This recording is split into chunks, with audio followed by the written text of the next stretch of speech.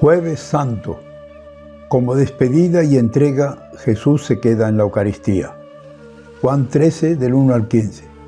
Les he dado ejemplo para que lo que yo he hecho con ustedes también lo hagan. El Jueves Santo, primer día del Tríodo Sacro, es una celebración capital dentro de todo el año litúrgico, una celebración solemne y grandiosa, enmarcada en el contexto dramático de la proximidad de la pasión y muerte del Señor. Es el día cumbre de la despedida y del amor hasta el extremo de Jesús, hecho servicio humilde y generoso en la Eucaristía, el amor y el sacerdocio. En primer lugar, Jesús celebra una cena en la que culmina una vida de donación y entrega. En esta cena, celebrada en el contexto de la Pascua judía y originalmente una fiesta de pastores, el cordero sacrificado y consagrado recordaba la liberación de Egipto gracias a la sangre rociada en las puertas como señal de pertenencia. Jesús inaugura esta santa cena una nueva alianza, en la que Él mismo se convierte en cordero sacrificado y se entrega en totalidad por cada uno de nosotros.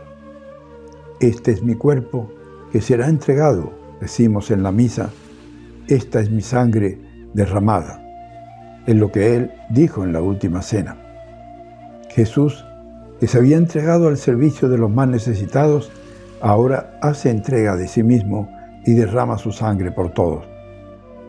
En la Eucaristía, Jesús entrega todo lo que es y lo que hace sin medida.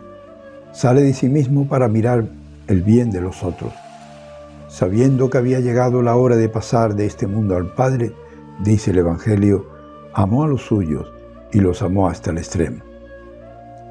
En segundo lugar, esta entrega hasta el extremo va a ponerse en evidencia en dos gestos muy sencillos.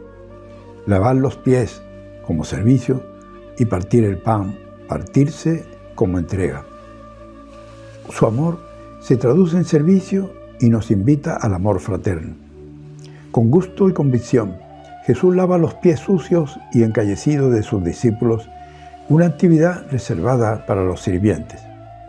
Antes de extender sus brazos en la cruz, Jesús anticipa su testimonio de entrega total, incluso ante quien le está traicionando.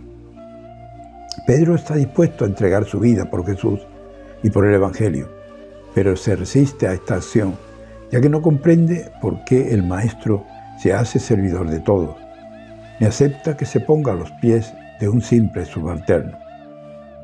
Jesús corrige a Pedro y concluye invitando a sus discípulos que hagan lo mismo. Les he dado ejemplo. Ustedes también deben lavarse los pies unos a otros.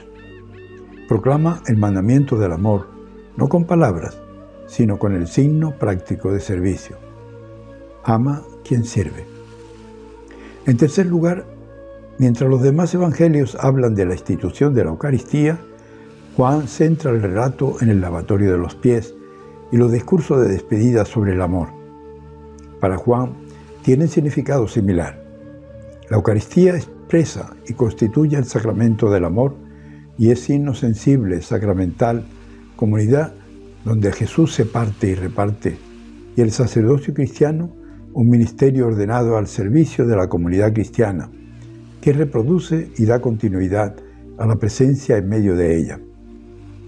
Sus palabras, esto es mi cuerpo, esta es mi sangre, hagan esto en memoria mía, son una invitación a que en memoria suya nos partamos también nosotros y nos repartamos.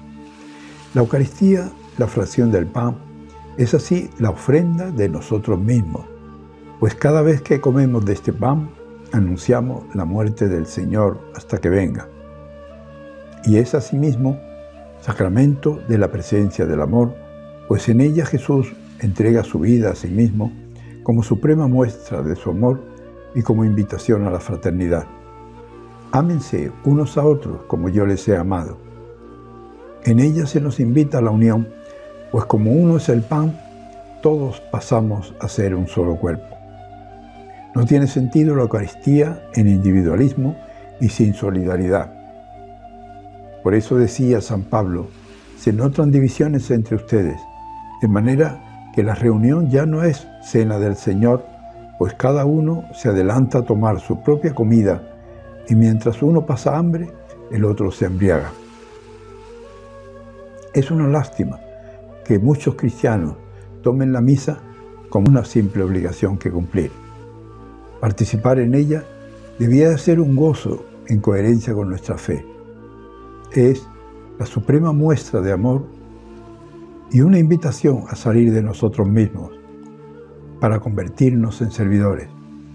Para Jesús, el más importante, el que manda, ha de portarse como el que sirve. Este gesto de Jesús en el lavatorio es una invitación a compartir las dificultades del otro, a comprender sus limitaciones, aceptarle como es. Lavar los pies a los amigos implica un contacto inmediato con el barro de la existencia cotidiana, con los callos y asperezas de la vida ordinaria. Ese gesto tan singular y sorprendente no es fácil de entender ni es fácil de aceptar. Se trata de estar dispuestos a perdonarnos a nosotros mismos y a perdonar a quienes nos han ofendido. Revisemos nuestras actitudes frente a quienes nos rodean. Lavar los pies significa inclinarse delante del otro, aceptar el servicio como entrega.